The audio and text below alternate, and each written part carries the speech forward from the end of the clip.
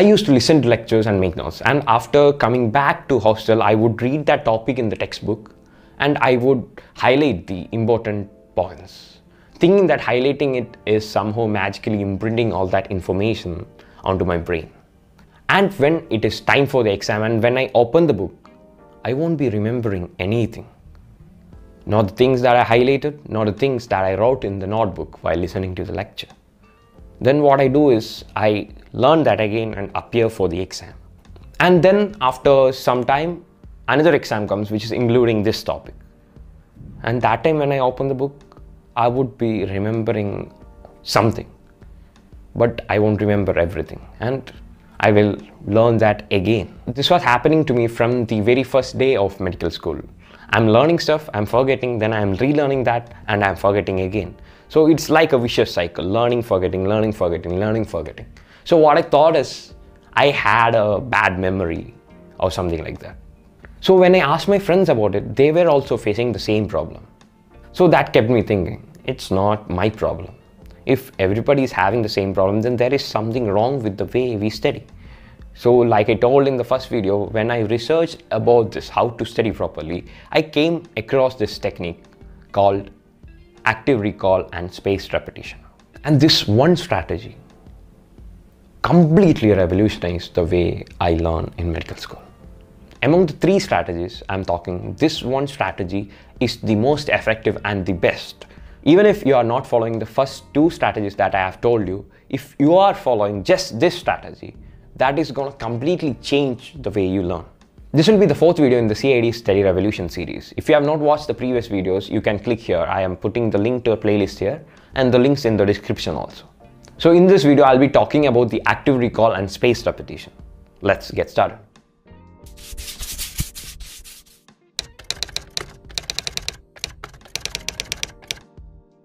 For those of you who don't know me, I am Al Ameen Asharaf, a final year medical student at AIIMS Bhubaneswar. I make videos about learning and productivity, tech for students, health and fitness, and my journey of becoming a doctor. If you would like to see them, then subscribe to my channel and ring that notification bell. I would like to start this video with this quote by Benjamin Franklin. Tell me and I forget. Teach me and I may remember. Involve me and I learn. There are basically two types of learning, passive and active. The common method that we use is passive learning. So what is this passive learning? Passive learning is the form of learning in which you are assimilating the information passively. So then what are the passive learning methods?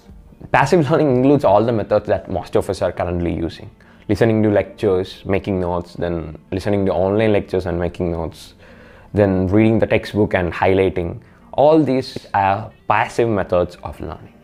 Then what is active learning? Active learning is something in which you are actively involved, in which you are actively assimilating the information. So what are the methods of active learning then? Active learning includes taking tests, summarizing, teaching someone else, flashcards and things like that. So how can you incorporate this active learning into your daily life? Number one, instead of making notes while listening to lectures, after the lecture finishes, try to summarize it in your own words that is a form of active learning, summarizing the stuff that you learn. So the second way in which you can do active learning is when you are reading the textbook, instead of highlighting it, just after you finish reading the textbook, close that textbook, keep it aside, take a paper and summarize everything that you have learned. And if you are making some mistakes in the facts that you have learned, you can go back, check the textbook and make the changes after you finish summarizing. And you can do this also when you are reading the textbook. Instead of highlighting, you can write a question beside a paragraph. And when you are rereading the textbook, what you can do is you can just put your hand beside that question, read the question and try to answer that question.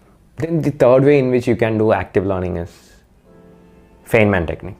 That's basically teaching someone else. I will talk about Feynman technique in a future video. Then the fourth way in which you can do this is by solving questions, solving MCQs or solving previous year papers and things like that. And the next way of active learning, and this is my favorite method of active learning, that is making flashcards. I make use of the app Anki for making flashcards and doing space repetition. I would talk about how I use Anki and how to make good flashcards in a future video. So now you know how to do active learning. Do you think doing active learning is gonna get you good marks in MBBS? If you thought so, then you are so wrong. Just doing active learning won't get you anywhere, particularly in MBBS. This active learning would suffice for a concept heavy subject like physics. If you are a physics student, then doing this active learning is more than enough to get you good marks in exams. But for a fact heavy course like MBBS, active learning is not enough to get you good grades. Here comes the use of spaced repetition, most scientifically backed study technique. Spaced repetition is based on the concept of the forgetting curve. So what is this forgetting curve? The forgetting curve states that you forget 30 to 40% of the stuff that you learn within one day and by around 30 days you will forget 80% of the stuff that means you will only retain 20% of the stuff at the end of 30 days so in space repetition what we do is whenever we are forgetting 30 to 40% of the stuff we try to actively recall and relearn that so in doing so what happens is that the slope of the forgetting curve halves so if you are forgetting 30% of the stuff in one day now you will be forgetting it in two days. And then when you repeat that again after two days, you will be forgetting 30% of that stuff in four days only. So like that, this will go on. Like the interval will double and go on. And when you keep on doing this, a point will come when you will forget 30% of stuff only after six months. So this works just like building muscle in the gym. So you are letting the information, you are letting the memory to disintegrate a bit.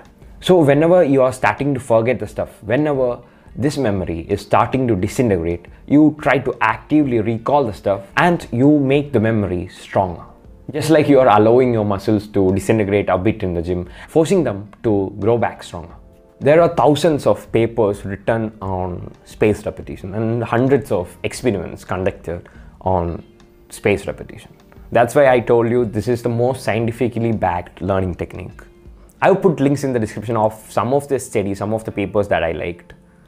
And I would like to bring your attention to this particular study.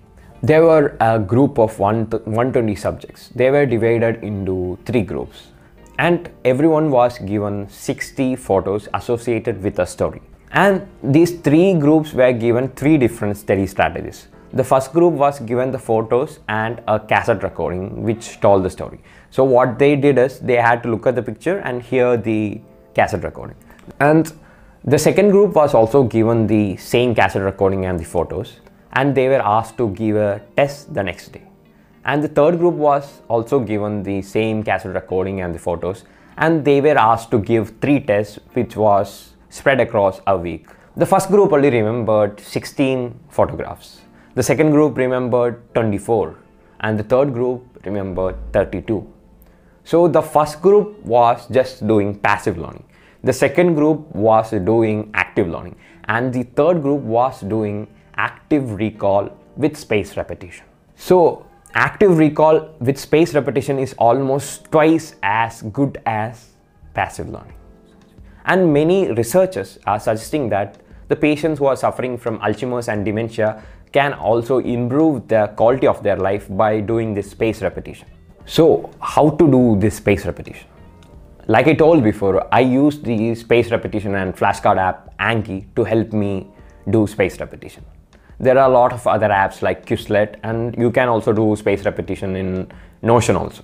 And if you are hell bent on not using any software or apps, then what you can do is the 1-2 rule. So what we do in the 1-2 rule is you read something today, you try to recall it after one day, then after two days, then after one week, then after two weeks, then after one month, then after two months. So I won't be able to do that. Keeping track of the time, like when I repeated this last, all that, that is gonna be so hard for me. That's why I use Anki. So if you are able to pull this off or if you're trying to do the 1-2 method, then please put that in the comment box. If you like what you see, leave a thumbs up and share this video with everyone who needs to see this. Subscribe to my channel and ring that notification bell so that you will know when I will be uploading the next video. Bye till we meet again.